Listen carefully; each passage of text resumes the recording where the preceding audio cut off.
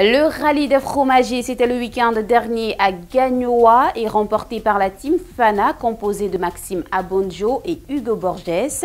Justement, que pense Buzz de Sport de cette 28e édition? La réponse vous l'aurez en suivant le focus maintenant.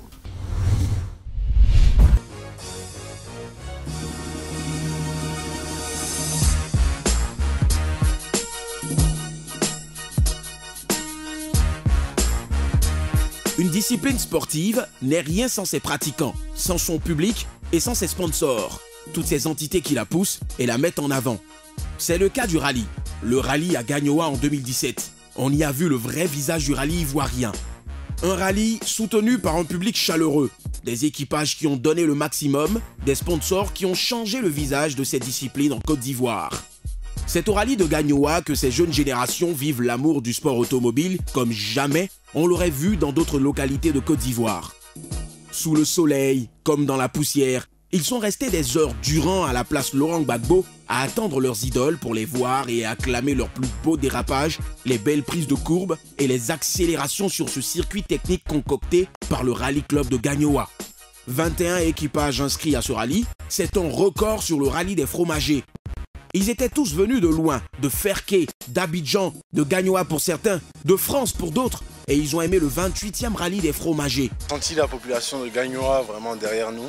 Partout où on passait, c'était les hurrahs du public, c'était des, cris de joie et je pense qu'on a fait plaisir à la population. Le fait de terminer ce rallye, c'est une marque de reconnaissance pour eux.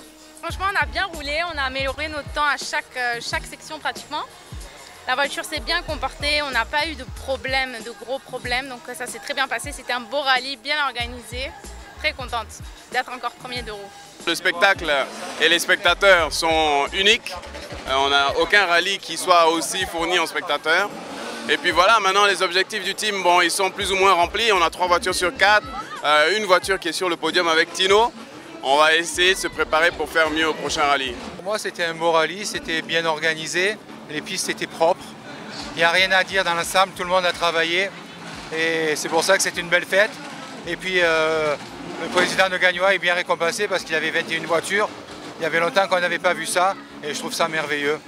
Chaque année, le RCG met du plaisir au cœur des populations et réconcilie les Ivoiriens vivant à Gagnoa autour de cette discipline sportive. À Gagnoa, le sport roi, ce n'est pas le foot, c'est plutôt le rallye. Sentiment de joie, je suis vraiment content, tout a bien démarré bien, qui finit bien. Et vraiment, ça a été un rallye difficile parce qu'il y avait assez de concurrents. vraiment, on n'avait jamais vu ce plateau. Il fallait gérer ça. Et je remercie beaucoup les forces de l'ordre hein, qui ont fait un travail vraiment énorme. Les pilotes étaient contents parce que le circuit est très très roulant. Donc ils n'ont pas croisé des véhicules. Vraiment, ils étaient à l'aise. Ça, ça m'a fait plaisir.